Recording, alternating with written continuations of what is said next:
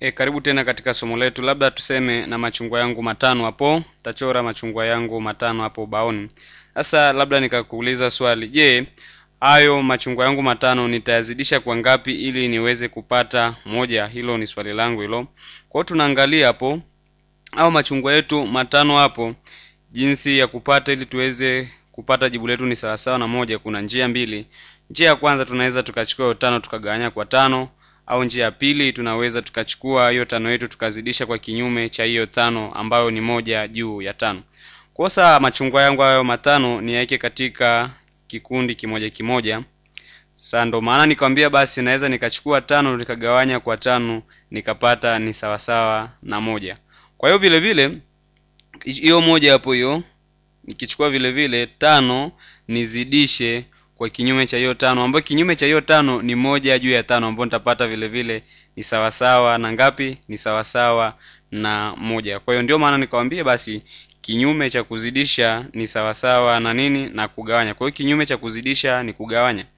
Sasa vile vile tukiangalia hapo, mfano labda tukachukua hiyo namba yetu hapo tano tukaizidisha kwa hiyo kinyume chake ambacho hicho kinyume ni sawasawa na ngapi? Ni sawasawa na hiyo moja ya tano. Zao litakalopatikana hapo itakuwa ni sawasawa na ngapi? Ni sawasawa na moja. Sasa mfano labda una namba ukatoa labda namba nyingine hapo baoni, hiyo natolea mfano, natolea tano nikazidisha kwa hiyo moja ya tano, ndiyo ni sawa sana kuandika tano juu ya moja tuzidishe kwa moja juu ya tano, ambayo tano mara moja ni tano na moja mara tano ni tano. Kwa hiyo mpaka hapo mmenielewa, ambayo tano juu ya tano ni sawasawa na ngapi? Ni sawasawa na moja. Kwa hiyo umeona hapo kugawanya namba ni sawasawa na kuizidisha ile namba na kinyume chake. Mfano tukatoa mia mbili kumi na saba nitaizidisha na namba gani nipate ni sawasawa na moja? Hilo ni swali letu, swali rahisi tu.